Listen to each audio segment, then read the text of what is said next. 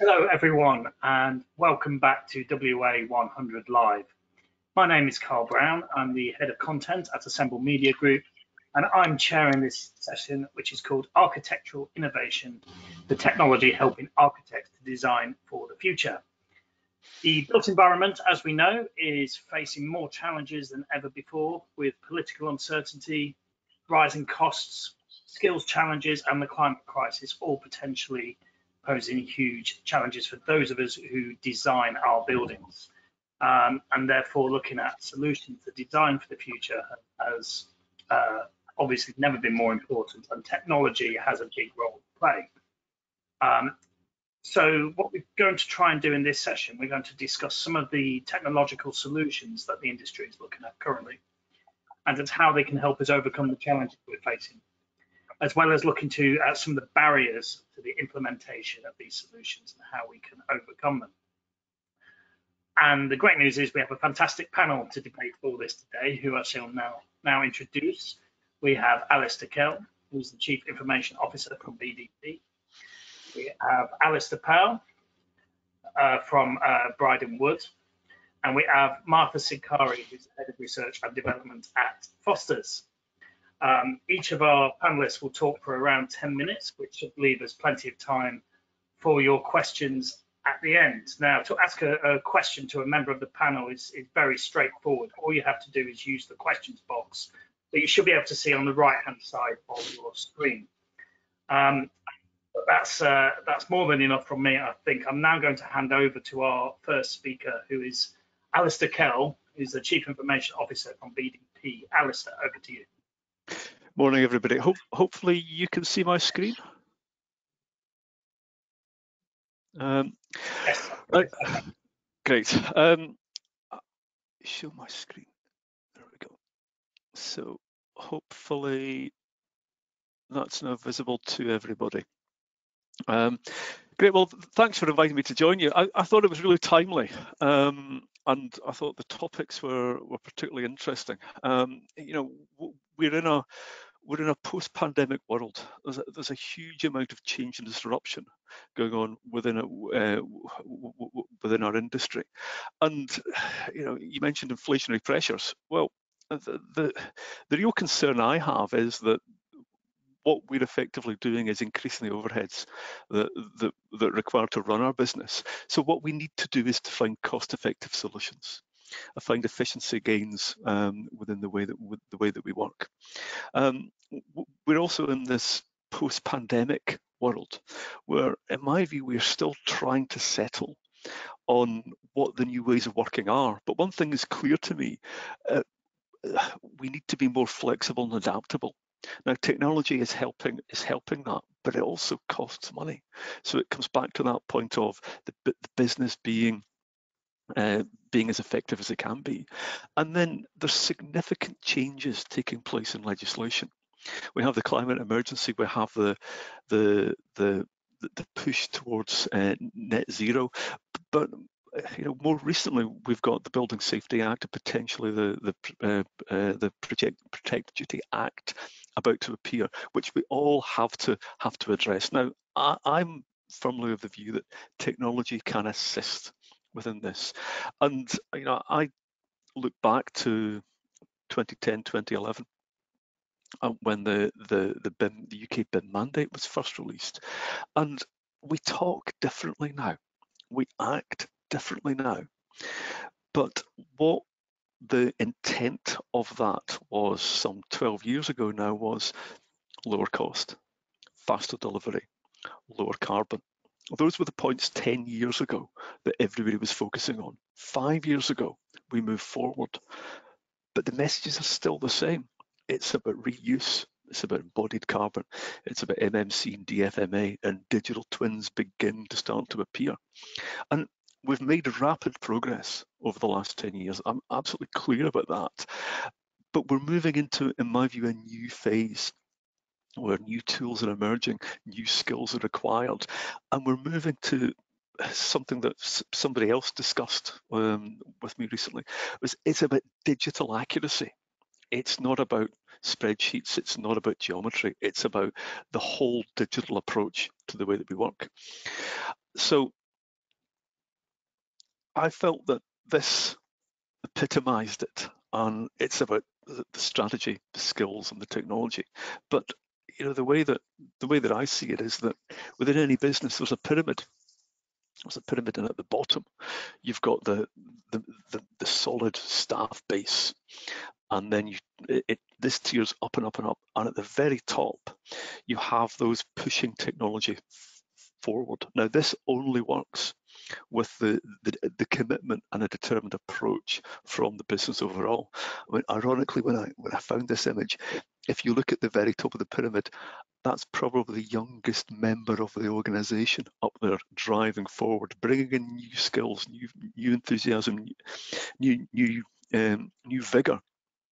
But it needs that collective approach, and you know, I argue that you can make that top 1%, 10% more efficient. But that's not what the value is. The value is looking at that base and broadening out the skills of the, of that, that base. And if you make 25% of the business 1% more efficient, you, you've achieved far more than improving that 1% at the top. But it's about skills and it's about knowledge coming together to, for advancement. You know, it, it, it's it's as important to understand the size of a brick or where a DPC goes as it is to be able to, decode to code and script to, to bring benefit. They have to work hand hand in glove. Now, BDP's approach, um, we we we are moving forward. We're a large, complex business. So what we have done is set out to look at what we can achieve in manageable steps across each of our professions. This allows us to understand the staff skills that we, we require, where investment in technology, in training and support is necessary, how we can then measure and monitor the progress that we're making. But the goal is to be more effective, more efficient, and to bring that generative designer approach to a large part of the way that we work. Um, equally, it's about trying to find efficiency in project delivery. So it's about standardization and it's about finding the balance between the technical requirement the need to be effective and efficient and also the need to the, the need to keep creativity within the design process so th these are just a couple of quick initiatives that begin to demonstrate that now the first and it ties back to the legislation change and the, the political changes that we're seeing in the way that we work. The, the first is, excitingly enough, focused around fire stopping. Now, probably the least interesting part of what architects do, but we've got to get it right. Legislation is now demanding that this happens.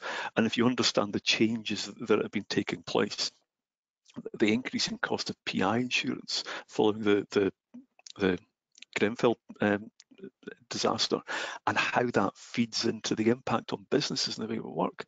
This cannot be ignored, cannot be avoided. So we define a simple approach. We, we work with, with suppliers and manufacturers to only have certified details being part of the way that we work.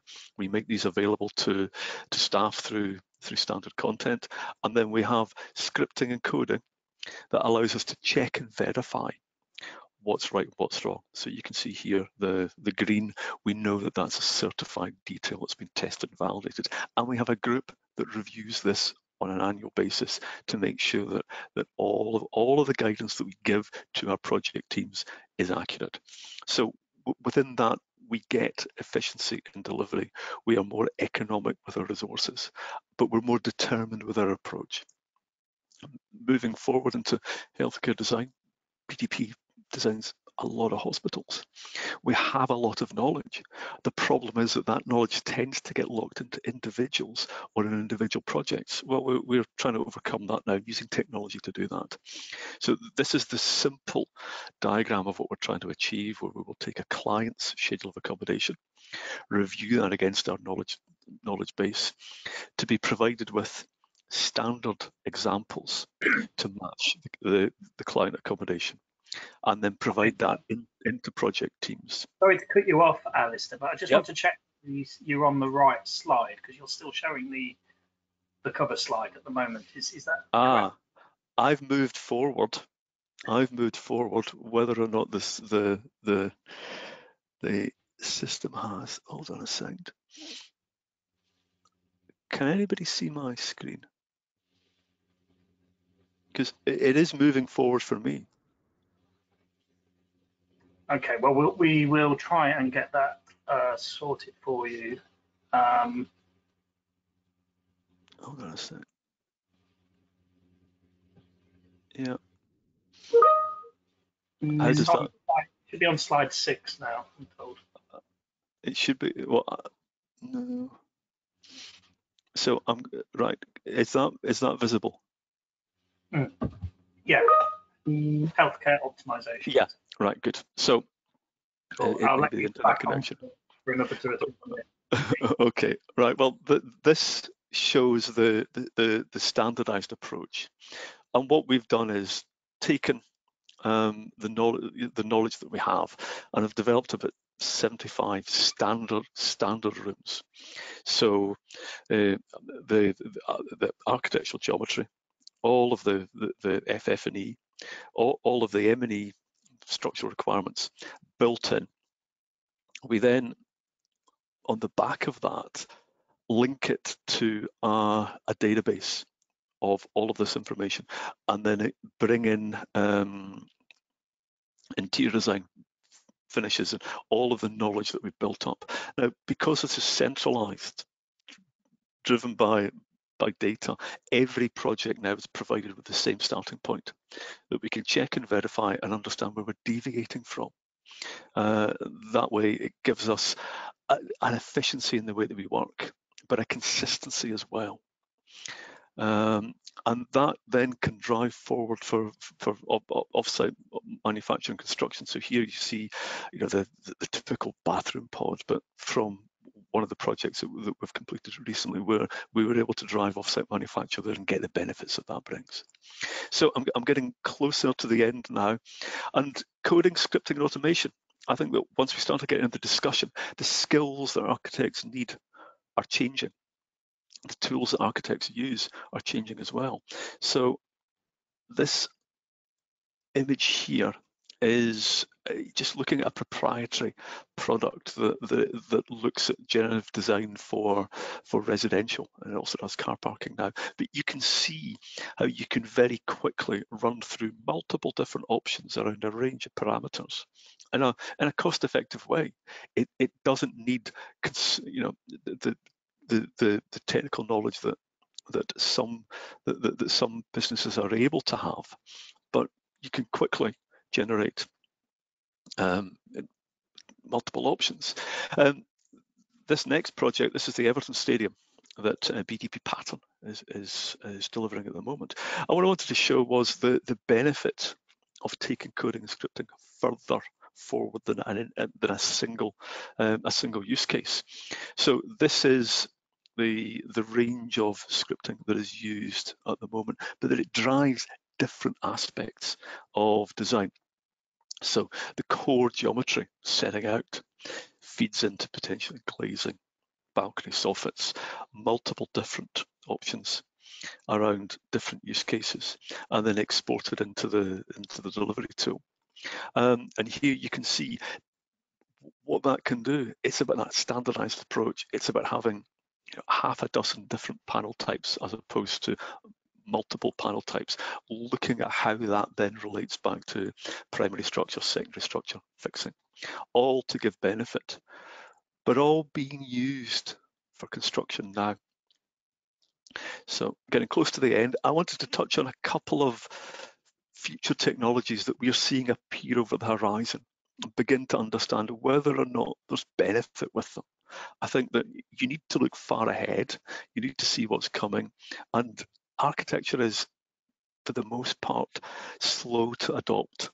Um, I think there's multiple reasons for that, but slow to adopt. So the first one was Midjourney.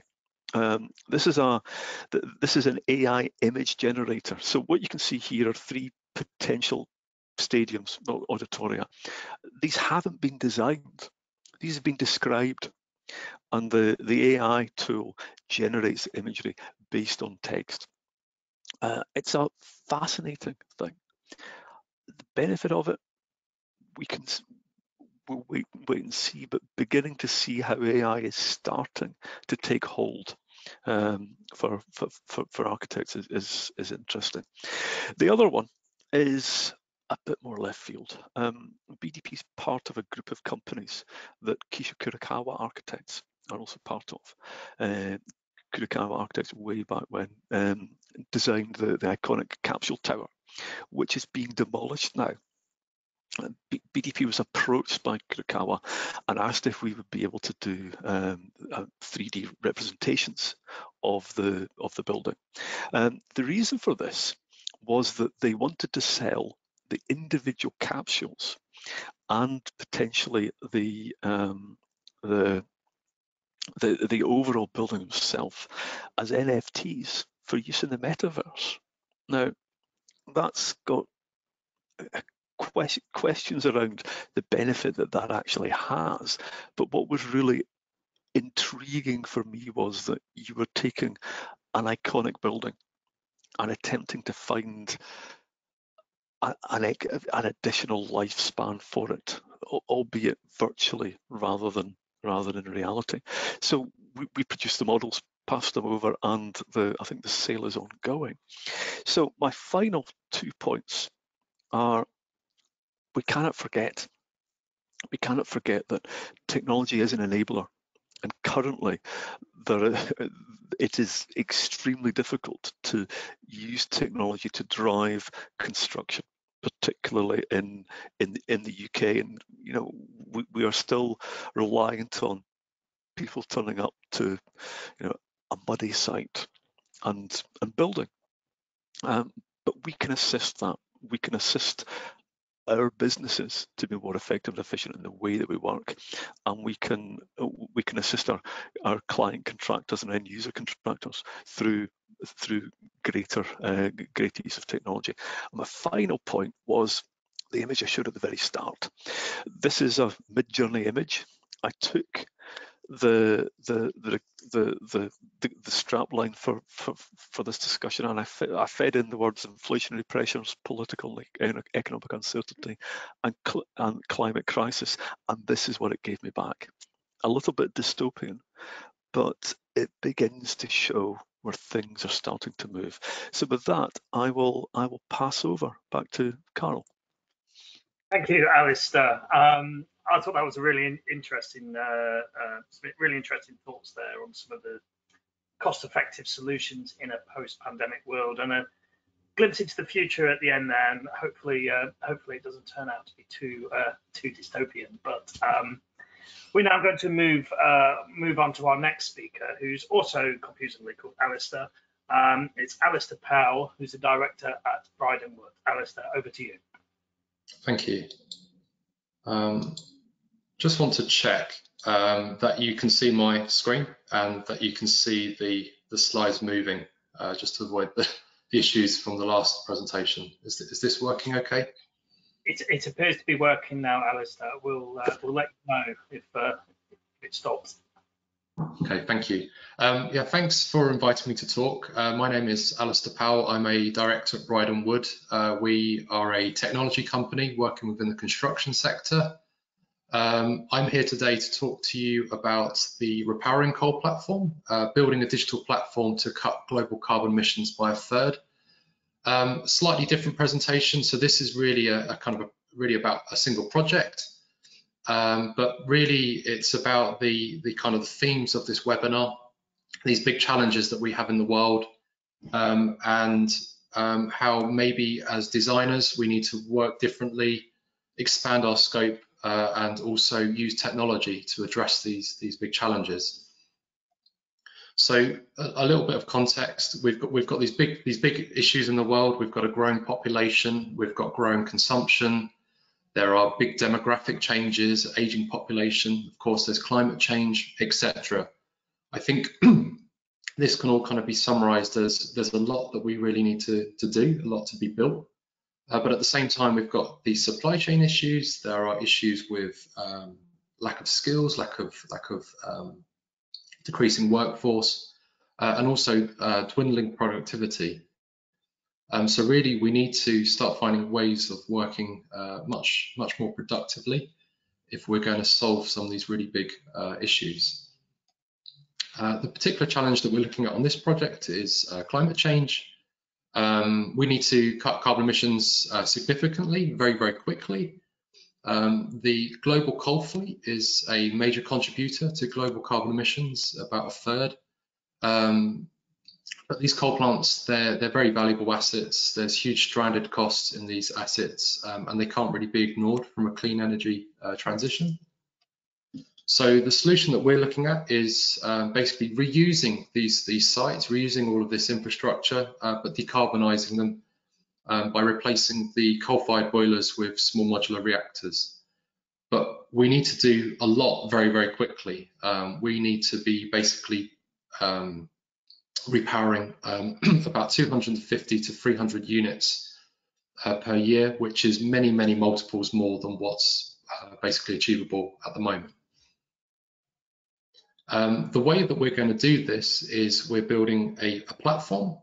Um, a platform is basically a, a, a, method or a model for uh, facilitating exchanges between uh, multiple groups, um, typically producers and consumers, um, a great example would be Airbnb. So rather than Airbnb going out and buying lots of hotels and then selling rooms to, to guests, what they did is they created a digital platform that linked guests with hosts.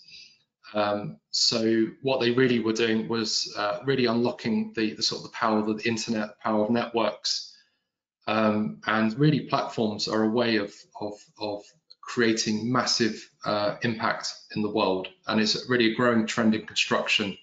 Lots of startups uh, kind of um, interested in, in, this, in this approach. Um, and also the UK government as well. And I won't go into too much detail here, but the government is uh, increasingly moving towards um, uh, platforms effectively being part of policy for delivering UK uh, um, government infrastructure. Um, so what do nuclear projects look like at the moment? So what we have is um, basically these very bespoke, very complex built projects, built systems. Uh, and what that means is all the project processes are very complicated, uh, time consuming, unpredictable, uh, consume huge amounts of resources. And that really means that we have very few producers that can really kind of manage um, very few suppliers, sorry, that can really manage all of this complexity and risk. And that makes the project very expensive, very slow, uh, and really there are few customers that really want to, to really do these projects. What we're looking at doing is um, really trying to standardize all the built systems, uh, make them much more simple, much more uh, standardized, so that all the processes on the project as well are much more standardized, much more predictable, much quicker, with the goal really of building this platform where all of the uh, suppliers and all of the customers that are involved in a project can basically interact much more uh, easily um, and achieve effectively a lot more um, with a goal of basically uh, significantly uh, significantly reducing the the cost of the projects making them much more quick uh, to, to deliver uh, and much less risky. Um, so sort of starting at that bottom layer, what are we doing? So we're looking at reusing uh, most of the, the existing coal plant, uh, which has massive um, capex savings. Uh, then we're looking at standardizing the uh, small modular reactor systems. So these are small modular nuclear reactors. Um, and we're working with a, a range of um, reactor vendors to do this. We're also looking at standardizing uh, the, the building components um, and a number of, a number of other um, kind of innovations. But really what we're trying to do is really standardize um, all of these kind of these, these built elements uh, across all the different projects that need to be uh, delivered. So this would be a typical uh, project. Um, this, this is a site in the US, uh, two um, 600 megawatt uh, um, coal boilers. Um, those effectively would be turned off Everything else on the site would be reused. Um, so not just the sort of the physical side of things, but also the jobs, the the permits, um, the communities, etc. Uh, and then what we are doing is uh, basically adding what we call a nuclear island, which has these um, eight, uh, in this case, eight um, 140 megawatt uh, nuclear reactors. Um, just skipping ahead here. So we also have what we call a heat transfer and storage system. So this is basically just an interface between the coal plant and the, the new reactors. Um, and then skipping ahead here, these uh, these buildings here that are highlighted are basically housing all of the uh, what we call non-safety related systems. So basically all of the, the systems that aren't uh, critical in terms of nuclear safety or environmental safety. Uh, and all these buildings can basically be um, commercial grade, so basically sheds effectively housing all of these systems. And then here we have the, the nuclear grade buildings, which is really the sort of the focus. This is where a huge amount of uh, cost uh, and uh, program traditionally is uh, tied up. These buildings, so this is just a cross section through one of them. Um, these buildings are uh, basically mounted on what's called a seismic isolation system. So this effectively is a, standard uh, foundation that can be used anywhere in the world, uh, depending on um, anywhere in the world, irrespective of the seismic conditions of, of that location. Uh, and really what that does is that means that everything above that can then also be standardized. So we don't need to design these buildings uh, individually for every different seismic condition all of the um, the the sort of the the the uh, small modular reactor systems that go within that building, these will all be standardized as well, uh, and these will be um, typically in, in, skids or in, in, kind of frames, um, built off-site in factories and then delivered and then effectively plugged in on site. Um, we also have a, a fairly standardized uh, cross-section as well, and this cross-section can accommodate a wide range of uh, small modular reactor types. And if we need to increase the size of this building, we just effectively add additional sections to the building. And what that means is that all of the components which are being used to basically put this together are, um, there's, a, basically a small number of components that are required. Um, and because of that, that means that those components can be basically mass produced um, and uh, mass produced in uh, an industrialized supply chain built in factories effectively and delivered to site. Because we've basically standardized all of these, these components, that means that we can now really simplify and standardize all of the, the processes in a project as well. So we can standardize the, the feasibility and early design stages. Um, and we're currently building uh, tools at the moment that will allow customers and investors to quickly understand the, the costs of a project, the, the business case of a project, whether that project can fit on their site, etc. We can also uh, standardize and automate the design, design tools, so really accelerate the design process uh, and allow a much wider range of designers as well to uh, design these projects. We can standardize the construction process, so really harnessing the uh, DFMA type approach. Uh, and we can also standardize the, the operational uh, side of things as well. And because we've basically standardized all these built components and we've standardized all these processes, that means we can now really um, simplify all of the interactions required between all of the different um, suppliers and consumers on a project um, and really basically enable them to achieve a lot a lot more than they would traditionally. Um, so really allowing the the customers to quickly understand the business case for a project uh, allowing the regulators to approve much more projects much more quickly uh, allowing designers and vendors um, to basically do a lot more, to be able to deliver a lot more, um, allowing assemblers to be able to assemble more quickly, providing them the tools that they need to uh, program a project uh, much more efficiently, um, and other tools effectively as well for other suppliers involved in a, in a typical project. Uh, and really, this is really the goal of the Repowering Coal platform. So really trying to standardize the built systems so that the processes can be much more simplified, allowing everybody to basically work together uh, much more efficiently. Um, and, to, uh, oh, it looks like you're you're rounding it off anyway. So yes, uh, can I ask yes, you to, my last slide. So just just to kind of a point here that this is part of a much wider initiative um, with lots of different partners uh, involved. Thank you very much, Alistair. I thought that was really good uh, on some uh, specific application technology there to drive decarbonisation. And I'm sure there's lots of learning there for other applications as well. Um, I'm now going to move on to our final speaker, who is Martha Tsigkari, Head of Applied Research and Development at Foster and Partners. Uh, Martha, over to you. Thank you very much. Uh, let me verify that you can all see my screen. Um, is this visible to everybody?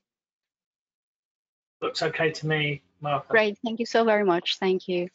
Um, so uh, just to, let me put this down. Um, so thank you very much for having us here today. Uh, Martha Tsigkari, I'm a senior partner and head of the applied R&D at Foster and Partners. And I would like to talk to you a little bit about technology and how we have been using it at Foster and Partners. Um, as, as you may know, at Foster and Partners, nothing is as constant as change.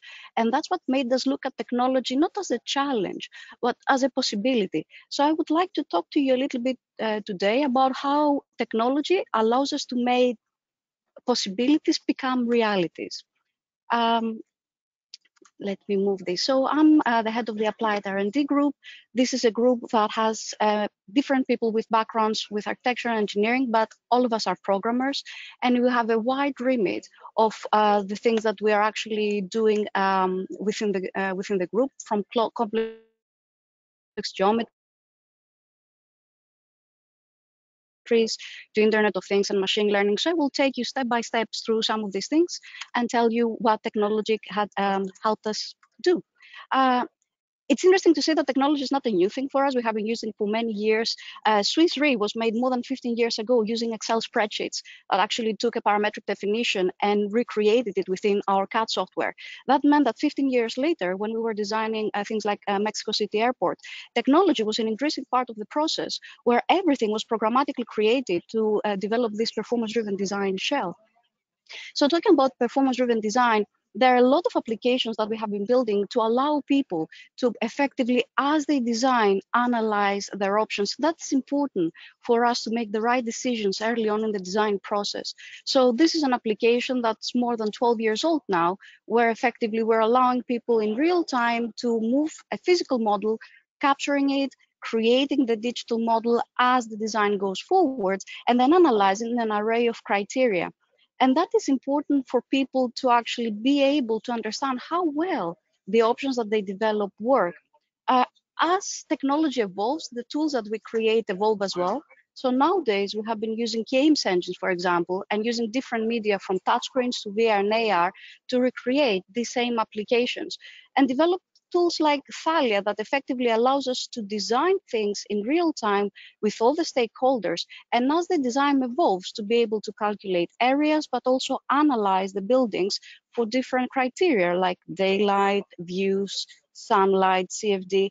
But even more importantly nowadays, to analyze real-time soft criteria like well-being factors or CO2 emissions, and even financial gains for every single solution to do these things, we have to develop technologies that are very, very fast as we're going for real time. So Cyclops is one of the tools that has been uh, has been something we have developing for over uh, a decade.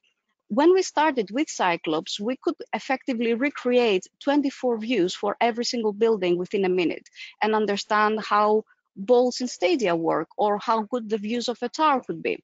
Nowadays, we are able to actually do that much, much faster. Cyclops is using uh, GPU computing to allow us to run 600,000 views in less than a minute. So you can see that this technology is ramping up and allows us to do things in real time that we, we, we couldn't do before. Scaling up and distributed computing is part of this idea of uh, going uh, with things bigger and better and faster. Uh, if we take, for example, the UAE Pavilion, In the UAE pavilion, we run a lot of optimizations using genetic algorithms, where we were trying to effectively understand what is the maximum number of differentiation that we have with the minimum number of panels to drop down the price. So we have these two conflicting criteria and we try to work against each other. But what happens when you need to scale that on a city level? So with Hydra, we effectively took into consideration this idea of an entire analysis ecosystem that we have developed with this very fast analysis that I just described, and then effectively try to see how we can apply it on a city scale problem. For the Kwangwen Transport Hub, we were trying to develop an entire cityscape around the station and our objectives were different. We started from saying that we require very good daylight for the apartments, we require very good connectivity and spatial connectivity in particular and proximity uh, to the station.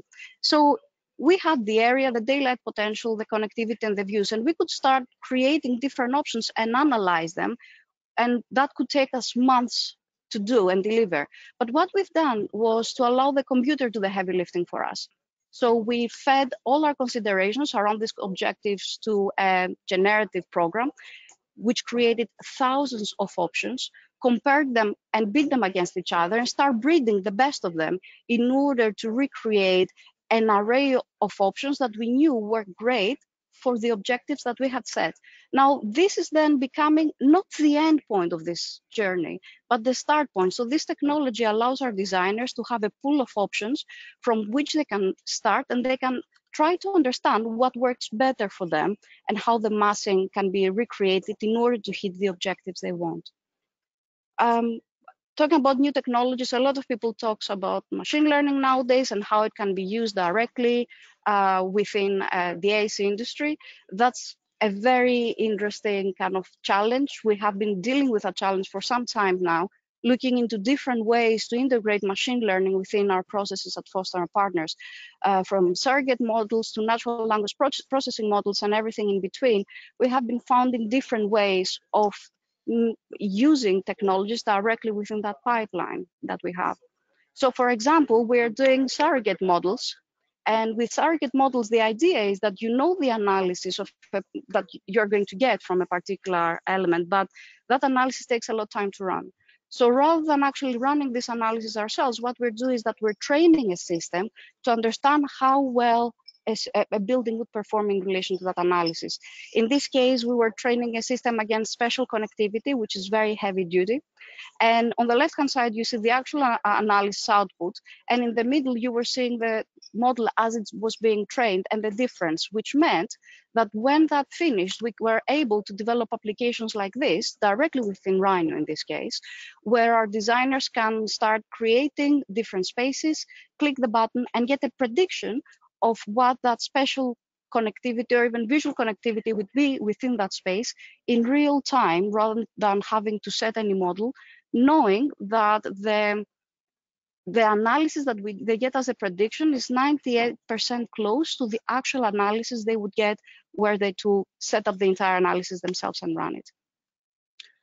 We have been using quite a lot of things around natural language processing in terms of democratizing the knowledge within the office, creating our own uh, search uh, engines within the office and trying to ask natural questions like what is the best acoustic insulation and getting back actual answers with the file that comes from our data set. Um, we have been using uh, different models like Midjourney to be able to not necessarily create architecture, but create composites, where in this case, the backdrop of this image is something that is derived from this diffusion model, while the foreground is something that our architects have created. But diffusion models can also be created and used as design assist. So we are now developing applications like this one, where on the left-hand side, uh, you can see a Rhino view where the designer can start recreating a model as they want it. And as they rotate it, a diffusion model of the background will give different options of what that model could look like, again, as something that can expand uh, their creativity and what they can think. Uh, in terms of extended reality, we have been looking into these things for many years. 20 years ago, the headsets would cost 100,000 pounds. Nowadays, we do this with far less. and we can create applications like Glaucon, where effectively people can be on the same site at the same time, understanding how a digital mockup will work as they walk around the site, doing that not just with headsets and backpacks, but also with iPads, and more importantly, allowing for full-time and real-time collaboration from wherever they are in the world for whatever project they need to investigate in with and, and with different media. Um, interoperability is another interesting thing uh, that technology has helped us do. Um, DocPatch, for example, has been directly been delivered from a quick and dirty parametric model to a full-blown BIM model directly by using technologies like Rhino Inside. Or we have uh, been investigating how we can, in real time ourselves, be able to connect different people and different disciplines together in order to deliver against particular uh, projects. So uh, our interoperability software Hermes has helped projects like the Lusail Towers to be done in real time along these different disciplines. And it was interesting because as we were doing the tower with uh, Lusail, we had the design change very, very close to a deadline that effectively dropped the tower by 10 floors. That meant not that just you chopping 10 floors, but the entire structure needs to be recreated. All the cladding needs to be recreated. Uh, everything around the environmental analysis needs to be recalculated and feed back to the design. But because we had that software that connected everything else together, all these changes were recreated and applied in real time to each discipline's model that allowed us for us to take into consideration and deliver based on that change literally a week before the deadline happened. And, and finally, uh, I would like to bring your attention to digital twin. Everybody talks about digital twins. I don't think many people understand what a digital twin is, which is effectively a replication of a digital replication of, of a real model in space. Uh, digital twins are very interesting for us because it's all about how a building operates and how you can learn from that building, not just to make the building better, but to feed back to other buildings as well. Uh, in True Foster and Partners form, we've start by eating our own dog food. So we have created a digital twin for our own uh, campus with an application that runs in real time where all the people in the office can actually get information around the campus. And with a, a model that can help you do things like heat maps and sensor data, wayfinding, and anything in between to understand how series data can be visualized within different digital models and also be applied in the way that we are operating these buildings long term. Uh, to do things like that, we had to scan our models, and this is one of the uh, our office. This is one of the scans of our office as we created them with this little robot here, uh, Boston Dynamics Spot, uh, which we actually start using for our digital twin, but to also investigate uh, the difference between as designed versus as built models, doing that in our Battersea Power Station development. And it is just to say that there are a lot of technologies like this that are disruptive technologies that can make a big change in what we do. And most importantly, can help us deal with the data that we produce uh, within the AEC space. So the AEC space creates, collects, shares, and can learn from a huge amount of data. And I think technology will help us use this data as a driver long term. Uh, both in design and construction, but more particularly during operation, creating that data cycle that can help us design and operate our buildings better. And uh, that was me. Thank you very much, Martha. It's um, ran through um, uh, a lot of stuff there. There's a whistle stop kind of tour of lots, lots of solutions, which I thought was great. Um, if I can invite the other panelists to um, switch their cameras back on, we can now go into the Q&A. Uh, we've had we've got several questions from the audience, um, and I want to ask some questions as as well. Um, before we go, go before we go to the audience questions, I would just like to ask a question about um, skills. Um, we, you know, we, we, we keep hearing about a skills uh, crisis in the UK and in the built environment. Um, so I just wondered what what the panel thinks about the current um, situation of, uh, regarding skills and technology in architecture. What skills do architects need to develop, and, and you know how do how do we fill how do we fill the gaps basically? Um, I don't know who wants to take that one Well, first, I, I, I, I'm I'm happy to happy to take this. Um, I mean, it, it's a very good question, and I think that the answer is is is not simple, but it's clear that understanding how you uh, manage data, understanding how you, how you the benefits of coding and scripting within uh, the overall suite of skills that an architect needs is is absolutely vital now. Um, you know, I, I I always tell the story. I'm giving my age away. I I was the my year at architecture school was the last year that I was able to graduate without producing a CAD drawing. So, um, you know, it, it, it, it, CAD wasn't a requirement in the in the late 80s. It, beca it became the, the prere prerequisite through, through the 90s and the early 2000s, and then BIM took over. And where we are now, it's about understanding how you can manipulate data. It's almost, you know, needing to have, you know, the skills of a data scientist, the skills of a software engineer, and the the creative processes and thought okay. processes that architectural education gives us. So, so would um, uh, Martha and the other Alice, would you, would you agree with that assessment that it's it's more about almost like data science skills that are needed in the industry now? I think, uh, I mean, look, we, uh, my team is basically full of uh, developers, and a lot of that work can happen from developers. Is that a prerequisite? I would say no. I would say the prerequisite is to be able to go outside your comfort zone because the entire idea with technology is that it helps us become better, faster, and enhance our creativity. So even somebody who just does things uh, by drawing or somebody who's on site and only understands construction, it's not a matter about these people having best technology skills. It's about them adapting them within their pipeline, understanding what they can do, and not go and say, well, you know what, this is not for me because I haven't done this and I don't understand this, so I will push this aside. This is about them saying, okay, what are the disruptive technologies out there? How inclined are we to incorporate them within our process? And there are different skills for different people.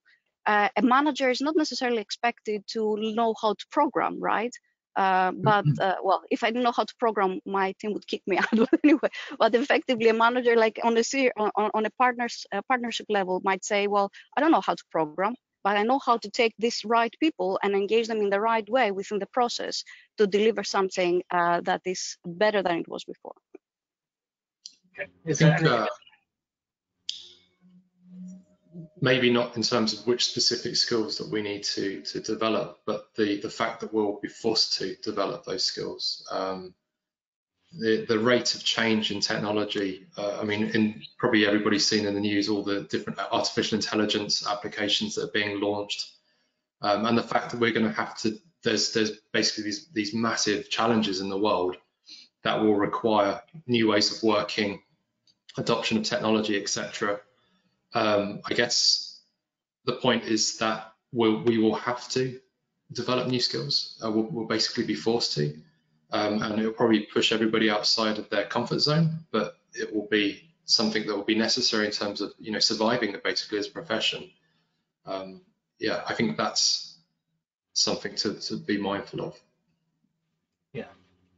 Okay. Um, I can see I can see some. Um, thanks for that, Alistair. We've got some questions coming through. Um, one of them is is for Alistair uh, from Bryden Wood.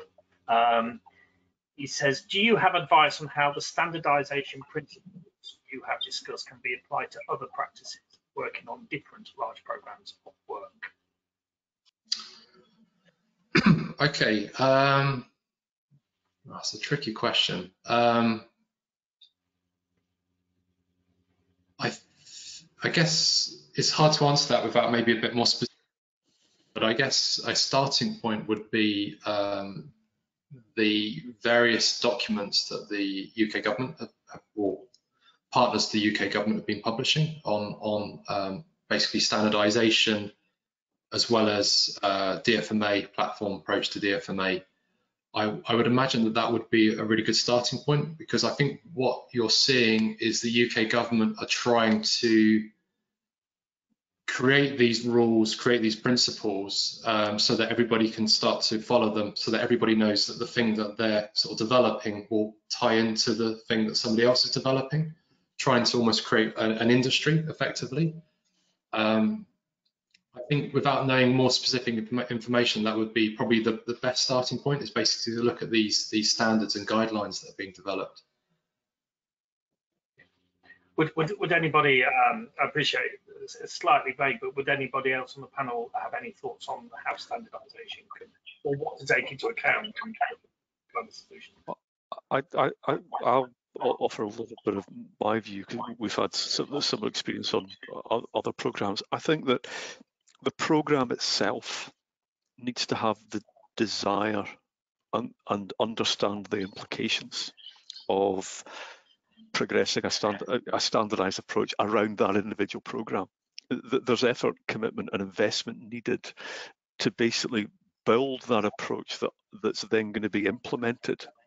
And I, I think that the you know the the the, the government government initiatives signpost all the steps that, that should be followed, but it, it, it really needs the leadership um, and the, the, the particular strategy needs to be developed at a program level to get to get the full benefit. I think the individual companies within a program can very probably get some gain for themselves, but the I think the real benefit is when it's a it's a fully you know there's a fully embraced strategy that moves from design through procurement, manufacture, construction, operation. It, it's it's the totality of it all, and that's the thing that certainly I've seen as the hardest part to get right since the BIM mandate was launched. You know, individual disciplines or individual points along the the, the journey can you can get benefit, but you know, it, it's how how the architect at, at, the very beginning with a concept is uh, is going to be supported to make sure that three years after the building's in operation, the the the processes are still being followed. Okay, um, let, us let's, let's move on. Um, we there's, there's been a few questions from the audience which are kind of which I'm going to try and wrap into one question. I, I suppose it's kind of uh, questions about barriers to the wider um, take-up of technological solutions in architecture. So, um, you know, why is it that, that some architectural firms, um, like you guys, are, are, seem to be more advanced than other architectural firms? And, and what are the barriers? Is it, is it is it to do with cost? Is it its own thing? We've already talked about skills. What, what do you think? Um, what do you think is preventing technological solutions um, being adopted more widely in the profession. And that's for anyone who fancies it. I think they, there is a lot of um, the, the industry, uh, as Alistair said, is very difficult to change. The AEC industry is slow moving because there are so many moving parts into it. Uh, I think a lot of the things that, um, that have to do with technology require a lot of R&D to happen and R&D is challenging because R&D is not necessarily something that has a positive effect always. You will try a hundred things and if one of the hundred thing, act, things actually works, then you're happy, that's a success, but you have to have the 99 failures before. And I think very few companies are willing to invest on the 99 failures for the one success. So you become a cost center effectively as an R&D uh, group, right? But that's a cost center that the company needs to have the foresight to understand that long term is going to yield very good results and put you ahead of the curve. And so it becomes an administrative decision. It becomes a decision that comes from the top down and also becomes something that needs to be facilitated bottom up because I feel in many situations you have a lot of good people trying to do good things. Obviously, these things have a, an, an interesting development. You start very, very slowly doing things with no much uh, kind of um, production or something to show for it, and suddenly it explodes. And most people are really kind of tired by that point, and they say, okay, we, we shouldn't be doing this. Uh, we shouldn't be spending time and money to do this. You need to just develop on on what, what you do. So there is a there is a place as well from bottom uh, bottom up to try to showcase what the um, what the company can take out of what, what you're doing. Um, and at the end of the day, it's also a resourcing issue, right? For a lot of these things, you need resources, you need the right people, uh, you need the right technology, and all these things are not necessarily things that are easy to acquire. And so that dedication to innovation is something that needs to permeate all these decisions and help you persevere rather than kind of be inclined to stop you from doing so. And I would say that's what I find are the main uh, the main issues why this is these things are not more uh, globally adopted. I think there's um, there's also uh, an issue around the, the sort of the, the risk that uh, is kind of inherent to construction. Um, you, only one small detail on a project can have huge ramifications in terms of you know cost and program. There's a huge number of you know lots of businesses go bust over over you know things like that, and um, so there's a huge risk in innovating actually. You, it, and I think that's sometimes overlooked. Um, maybe in other sectors, more like you know more like um, let's say web development, for example, you can kind of sandbox something. There's perhaps much lower lower stakes, but in construction, um, if you um, start in uh, uh, start basically playing with different types of technology, whether it's robotics or, or um, software, etc., um, there's a huge amount that can go wrong. And I think I think that innovation risk is something that's maybe overlooked sometimes. Yeah, I, I, I think, I mean, the one point I would add to that, I think Martha um, kind of summarised it quite well. Where we are, and you know, the the, the strap line for the webinar, there's a huge amount of change, and there's a, there's fundamental pressures on on every business, and the the ability to to to find money to invest in R and D is something that I think our three firms we're lucky enough to be in a position to be of a scale that we can do this.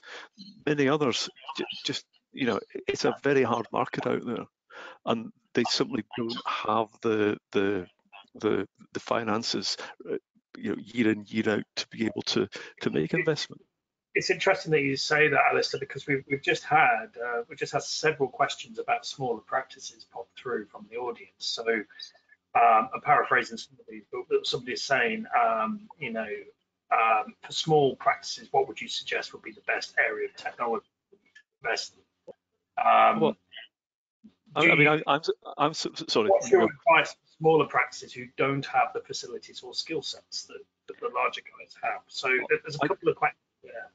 Yeah, I, I think find find a way of demonstrating benefit quickly because the the longer you you progress and the more complex your solutions are the harder it is to show that benefit. And you know i'm, I'm surprised that there are many practices that still don't appear to have properly uh, adopted. Bim now that was hard for us way back when. It was hard but you could very quickly show benefit into the business. You, you, could be a bit more effective. Visualization became easier. VR came along as an output. So all of a sudden, you've got all of this free stuff that comes along with just adopting that technology. Now, you push and push and push. The more you push, the harder it gets, the more expensive it gets. But look at what it, what the baseline is. Look at what people are doing. Look at the proprietary tools that are out there, and understand how, if you cannot be more efficient, you can at least reduce risk in what you're doing. And you know, there's pl there's plenty of case studies. It, it, the problem is, it is a leap of faith, and the hardest part is turning up to somebody that doesn't necessarily understand or believe in the technology, and say, right, okay, we want you to deliver this building to the same program um, with the same internal resource, and you're still going to make a profit at it and just believe me that it's going to work. Get on with it, and that's a really hard thing to do. To, to, to do it's a really hard ask. I, th I think it's just a, a matter of step. Sorry. But Alistair, it's a matter of like people not like. I think particularly for the small companies is a problem that they do not. They, a lot of people find it very hard to change. And this entire thing about the small company, I will say I I don't endorse at all. I used to work in a company of two, right? Uh, 20 years ago, we were one of the only people uh, from the people I knew who were using BIM in the early 2000s, and we were back then using architectural desktop. That meant that I could myself put out an entire model and application for planning in one week or less as a single person, right? And we didn't need more people to do it because it was easy to do it like that. So I, I completely kind of second what Alistair said. If you want to invest on something, invest on a pipeline that takes you from parametric uh, kind of definition.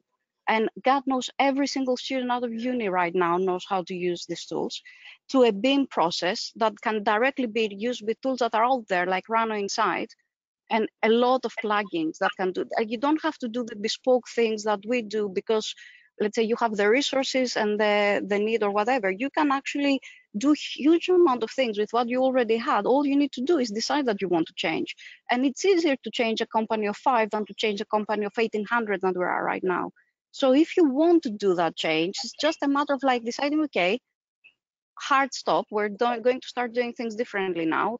Let's rearrange our roles. Re- let's understand uh, if we need one or two people who know something particular. Let's uh, all adhere in a new pipeline and let's go for it. So it, it's it's not as hard as it sounds, right? Okay. Um, I think that's about all we've got time for. It's gone. It's gone really, really quickly, but um, uh, it's nice to end on a, a, positive note there from Martha. Um, just want to say a big thank you to our panelists, the two Alistairs and Martha. Um, this session will be available shortly uh, on demand. I think it normally takes about 45 minutes or so for it to be uh, to, for it to be uploaded. Um, as you leave the session, um, you'll see a feedback form come up. Um, please do fill that in. It helps us to uh, helps us to improve our content in these sessions going forward. Um, we have another WA 100 live webinar at two o'clock, which um, has the title Developing Across Borders, Delivering the Built Environment in a Globalized World. Um, that's, that's it. Thank you once again to the panel and goodbye.